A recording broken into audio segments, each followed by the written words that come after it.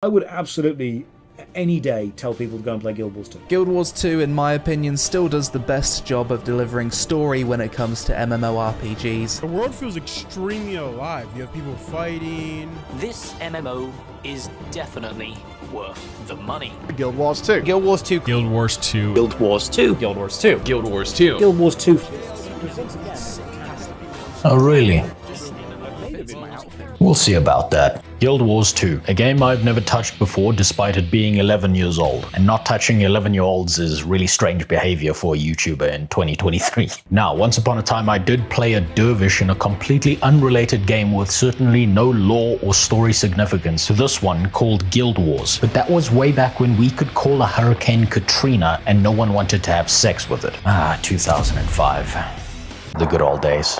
But we're not here to reminisce over an age when the timeline wasn't irreversibly shattered by turning a gorilla into Swiss cheese, all because a child wanted free water skiing lessons. See, I'm here to entertain you, and you're here to get the Wish.com version of brain damage. And maybe if we're both lucky, I'll be able to offer to you an opposing viewpoint to all those boomers who keep sucking themselves off over how good Guild Wars 2 is. So let's waste no more words and see how disappointing Guild Wars 2 is about to be. Let's start off simple and pick that one objectively superior character race. And we might as well pick our class or profession too while we're at it. Right off the bat, Guild Wars 2 gets pretentious on us. Ooh, I'm so fancy because I've got an animal race that doesn't look like each and every other furry race out there. I get the impression that when first creating the Charr in Guild Wars 1, someone on the design team one day looked over at their house cat and realized that it doesn't in fact have a gigantic pair of unwieldy bolt-on tits, thus dooming the Guild Wars 2 team to keep the design for the sake of continuity and banishing the furry menace back into other unnamed games out there. And yeah, that's great, but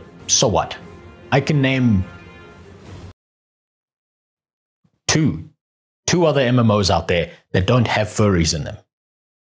I think. I mean, just look at this game. It's already acting like it's better than everyone else out there. Next, you're gonna tell me that the people who play this game shower regularly. Look, Let's get down to brass tacks. I'm here to have a bad time and dunk on all those Guild Wars 2 simps, okay? Not many, but the most hardcore of MMO players will realize this. But there's a delicate balance of salted misery to be maintained within this genre. And if we're gonna figure out how to be miserable, there's only really one place to start this journey. Reddit. And within this cesspool of circle jerking mod incels, we got no help. Big surprise. But I did stumble across this useful little link right here. And a little later, upon returning to my post, we found a surprising number of people with a brain who typed something worth reading. These posts right here have me pretty concerned actually. You see, they may not look like much, but this kind of positive behavior is disruptive to the natural ecosystem of MMO related Reddit. But moving on to that link I found. We've got two choices here. We can pick our character through player choice or by player time. Playtime probably means that people are having a worse experience with the game than just not liking the way something looks. So let's go with that. So now in no uncertain terms, we know we'll be playing the cat wizard that escaped the Harry Potter race war. So on to the character creator. Hmm, let's see. Mesmer, illusions, finesse, misdirection. All the appropriate skills to craft the perfect YouTube apology after entering a Japanese forest. While we design Simba's disabled little brother, you may notice some real chunky polygons sticking out here and there, but a fair portion of this is covered up decently by the amount of options and sliders we've got available. And on top of those sliders, we've got some presets. We can even change the background lighting in case God didn't like you having a working pair of eyes. And there's even a slider so we can decide if we're going to be short or recognized as a person by society at large. All of this is shockingly well put together, but this isn't gameplay, so let's speedrun this a bit. Alright. There we go. Completely indistinguishable from your average Charr. Now then, let's get in game. What? Lore? Backstory? What the fuck is all this? Hold on. Now this is pure speculation on my part, but I get the feeling they're trying to turn our character into a person. I thought I was supposed to be playing main character generic hero man number 6 billion and one. Alright, fine. I'll admit the character creator is good enough that it's got me wondering why this isn't industry standard for every other MMO out there. God, and this game is 11 years old and we still haven't evolved? You know what, don't worry about it. I'm sure with my choice of the least played race profession combo that we're about to have a bad time in the starting area. So welcome to Smokestead. Turns out that the Cat Chimera people beat the snot out of the previous owners of this land so bad that they all became eternally butt-mad blue check mark Twitter ghosts. Jesus, and this is the least played starting area.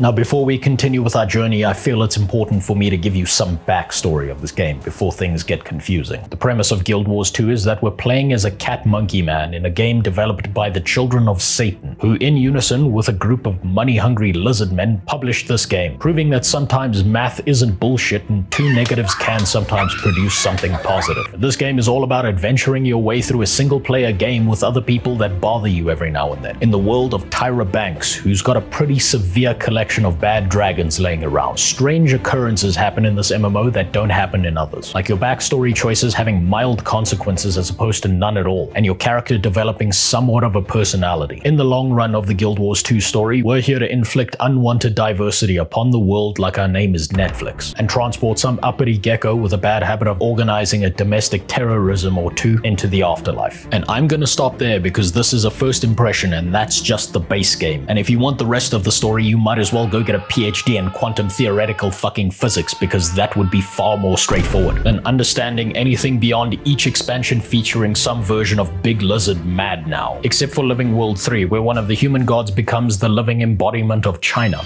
and decides that everything is edible through his personalized Slurpee straw. But none of that really matters right now because I'm a giant bipedal cat magician surrounded by unarmed but suspiciously blue protesters in need of some excessive force. So after proving to our superiors that no one is above the law except us, we even get some ringside seats to desecrating the graves of the indigenous. In particular, one of their leaders who really wanted to be a Power Ranger before he died and revived himself into an oversized Funko Pop. Now looking at this world lore-wise, everything tends to fit together very neatly. We've been told from the start that the Charr are brutal and warlike, and we, as a character in this game, get to be a part of that tradition. There's only really one problem. I, as a player in this game, don't really take any of these schizophrenic apparitions seriously at all. I mean, look at this. This guy's been beating me up for the last half an hour, and my health bar's barely moved. At no point in this game so far am I in any serious danger, and I'm not really being forced to learn how vital any of my specific abilities are. But moving on, after defeating the last statue of Stalin in an admittedly epic battle, we are ready to leave tutorial warzone into tutorial starting area, which is the same place just with less ghosts and not instanced. So welcome to Smokestead. The transition here is a little bit odd. We've now gone from battle hardened soldier to pest control handyman who's here to autocorrect a few sentient rats out of existence and learn a little bit more about the world around us. And look,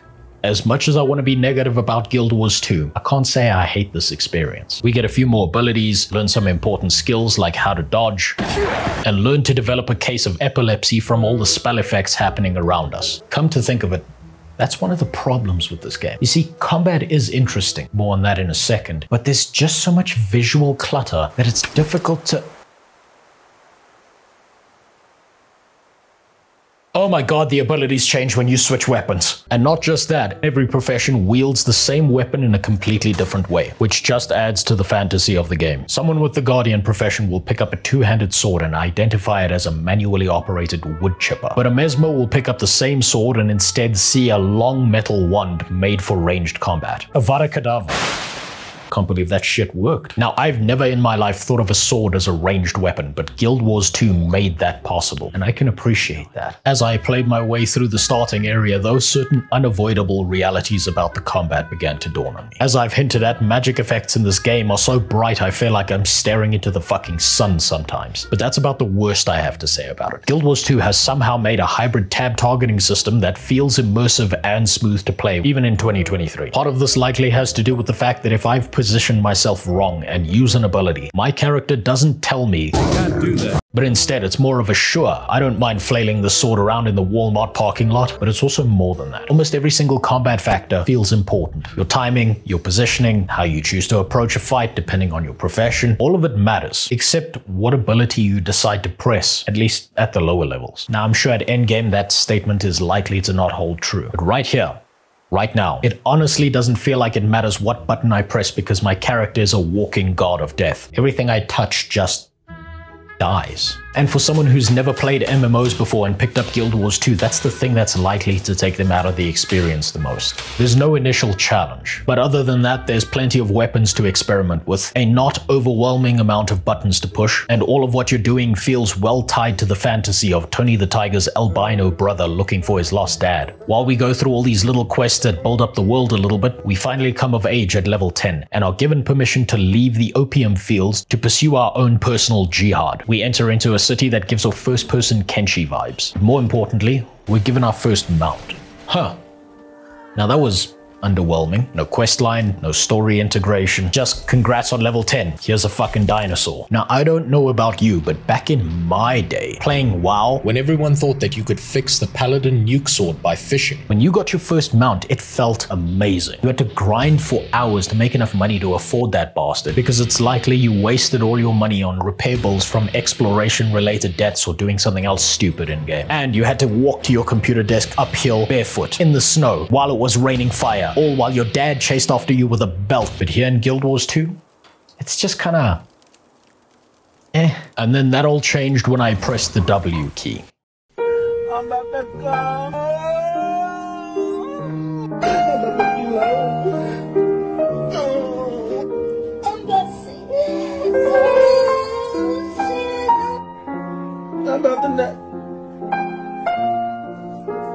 my god.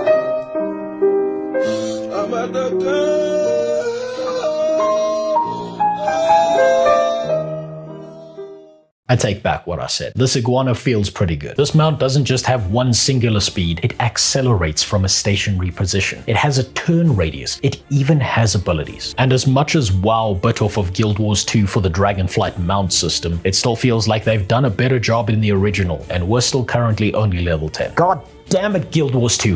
Why can't you just let me hate you like an MMO player normally hates everything they play? Haven't you taken enough from me? Alright, fine. I'll admit that the hybrid tab targeting system feels good and immersive to play with. I'll begrudgingly accept that this little ability bar isn't overcomplicated or oversimplified, all while it keeps the character's class abilities in line with the in-game lore. But do they really have to make things straightforward enough that some new player who's never played an MMO before can stumble into this game and enjoy themselves? And that they could probably do this without looking up a single guide online. Won't you consider the suffering this causes a veteran player like me? How am I, as a salty old player, supposed to gatekeep this experience when even the A and D keys are bound to strafing instead of keyboard turning by default? How am I supposed Oh, thank God, something to bitch about. There's an in-game store. This game pay to win. Absolutely disgusting. I have never, in my life,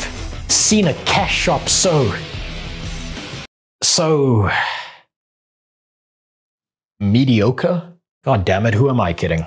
There's much worse out there. Keep in mind, this doesn't make this acceptable in my opinion, but it could be much worse. The biggest thing to complain about here is probably the utility and upgrade tabs. From what I can tell, the utility and upgrade tabs are all about creating a problem to sell a solution, with the old pay for convenience line attached to it. You know how it goes. Extra bag space, bank tabs, crafting shortcuts, that kind of stuff. Now, all of that stuff I expected, but then it takes a little bit of a darker turn. Extra character slots, waypoint unlocks, the fact that gold doesn't just convert to gems, but gems also convert to gold, that is pretty low. But again, admittedly, it's surprising it's not worse considering the developer and publisher of this game. But at least there's a solution to this as a first time player. You see, I don't care about being the best, most well kitted out Guild Wars 2 player. I don't care about high performance, I'm just here for an experience. So with this one magic spell, we can get rid of all these problems. Now let's get back to our adventure. So after dicking about in the Mad Max Thunderdome for a while, things at this point become just a little bit formulaic. We do our quests, we level up, we get thrown into some instant stuff. We're just kind of muddling around and... What, what the hell is that? Hold on one sec. Oh, so it's like a point of interest discovery map thingy. Anyway, as I was saying, we're kind of just... What the hell is that? One second, I'm not missing this. Whew. Well, that was fun. Now, what was I saying? At this point, I can't even remember. And that seems to be the thing with Guild Wars 2. There's a ton of content, world events, jumping puzzles with rewards, open-ended quests with a lot more to experience even at these lower levels. Getting sidetracked feels almost mandatory as you level up. Guild Wars 2 has somehow struck a good balance between the story-based quests and helping us explore the world through side quests and whatever else we want to do. And that's one of the hidden hallmarks of a great MMO. You're just not able to help yourself and you need to know what that thing you saw was in the distance, or the game giving you every opportunity to be involved in some dynamic world event. Now combine that with Guild Wars 2's fever dream-like graphics, and it's like being the world's worst ADHD patient on peyote. By the time I had regained my grip on my focus, I was level 20, looking for a dad I once lost in an orphanage-shaped daycare all those years ago. After finding him, I realized why he may have abandoned us. Look, I'm no expert in genetics, but we're a little bit uh, on the light side for that to be our dad. But either way, he decides to accept us as his real son under the condition that we free him from prison and get revenge on his old gang for him, so that's exactly what we do. What's notable about this quest line though is that the game gave us the option to keep him in prison. What's impressive here is that the MSQ is based all on the one backstory I chose way back in the character creator. Eventually though, we pay our father's bail, find the feral cats that he had been hanging out with and sterilize them away from life, resolve the story for now, and are back to adventuring out in the open world. Now I had come into this game without reading a single guide or watching a single video. The only thing I had done was make a post on Reddit and that convinced me that interacting with people was a bad idea. But through witnessing my sheer unbridled stupidity,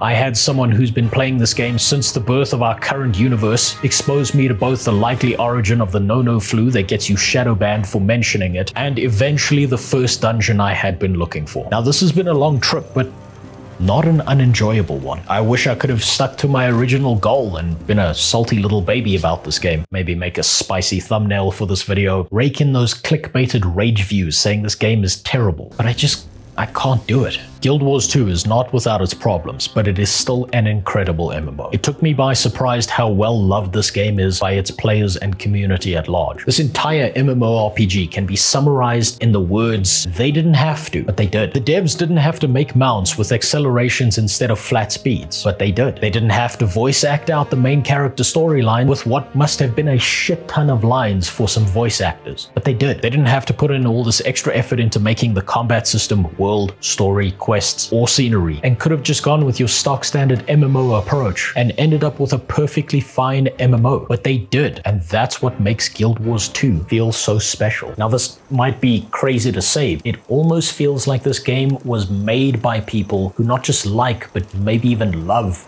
the MMO genre. But maybe that's just early onset schizophrenia from being flashbanged by the Mesmer's abilities one too many times. If somehow like me you still haven't played Guild Wars 2 at this point and just want a bullet point list of the good versus the bad, then here it is. Starting with the bad. Guild Wars 2 throws a lot of complex systems at you, which can be overwhelming at times. There's a lot of complexity in this game and it's easy to miss something important, like the fact that you can upgrade your gear or that you have to equip your specialization to your character before you can gain its benefit. This feeling of being overwhelmed also carries over to the way things look, and sometimes there's a lot of visual clutter to deal with. Some abilities are blinding or distracting to the point that you're not quite sure if you've missed something important or not. There's a pay to win shop, and no, on this channel we don't pussy out and use weasel words like pay for convenience. It's all the same thing, and at the end of the day, it's there to get you to spend more money. None of that really matters as you're leveling up your character, but that's something to keep in mind if you plan to stick with this game all the way to max level. And finally, there are some bugs, strange error messages, and issues with the game, but nothing so far that it's been game breaking or made me have an uninstall moment. Moving on to the good, and there's a lot of good, so I'm just going to stick to the main points. Guild Wars 2 base game is free to play, making it far more enjoyable knowing I could stop at any point in time and my anorexic bank account isn't going to get any thinner. There are no negative pressures here compelling me to play the game if I don't want to. This is also a very detailed game with a lot of love and time put into it, and that becomes very obvious the more you play it. Everything from the story to the world design itself feels on point. Nothing about this experience is mismatched. Combat is simple to learn but has a high skill ceiling depending depending on what character class you pick up. But more than that, the higher your level goes, the more the flow of combat feels impactful. Initially, I told you that at the lower levels, it doesn't really matter what buttons you push. But as you level up, the world around you begins to become a threat, much like aging in real life. And if you're not paying attention to your health bar, you'll find yourself squirming around on the floor, trying to bandage yourself up before you get Bill Cosby'd. And even at low levels, I can tell that the lore of this game appears to be coherent, consistent, and integrated into the gameplay itself. This is the kind of MMO story that makes you care about what you're doing. You're not just running out into the wilderness, killing 10 bears to collect 10 bear asses at a drop rate of 10%. You're protecting a farmer's livelihood by killing the bandits that would have otherwise stole all of his cattle. You're negotiating a peace treaty between two races who've hated each other for centuries. Or you're protecting your people from the haunted burial ground that they decided to build their house on top of. All in all, I'd say that even now, in 2023, Guild Wars 2 is worth your time. The short answer here is that this isn't just a game trying to suck you into some mindless grindfest, but a fantasy world and a story to experience. I can tell you right now that even after I'm done with this first impression, whenever I've got a spare moment, I'm likely gonna pick up this game again. But it looks like our Wrangler is finally back and ready to take us into the dungeon. So let's pop this Guild Wars 2 dungeon cherry and finish this first impression the right way. Alright, well, it's a little dark in here, but not too bad sarcophaguses. Looks like this one has a burial and undead theme to it. I guess I shouldn't be too surprised with how many ghosts we've been killing. Oh, look at that! We've even got an NPC to guide us through our first dungeon. How considerate. First, we deal with a little bit of combat with some more dangerous than regular mobs, but nothing we can't handle. We find a key and, alright, here we go. Big door opening. This is the moment. This is when it gets interesting.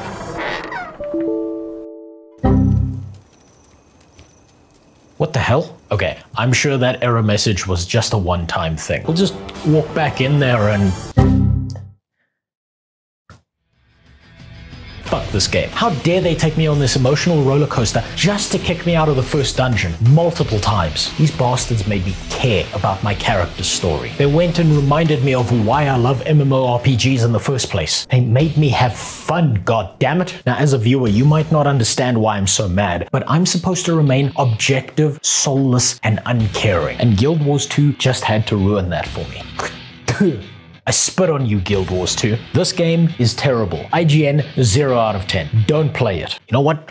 I'm logging out of this bullshit right now, and I'm never coming back. I am never touching this terrible, awful, unplayable mess ever again.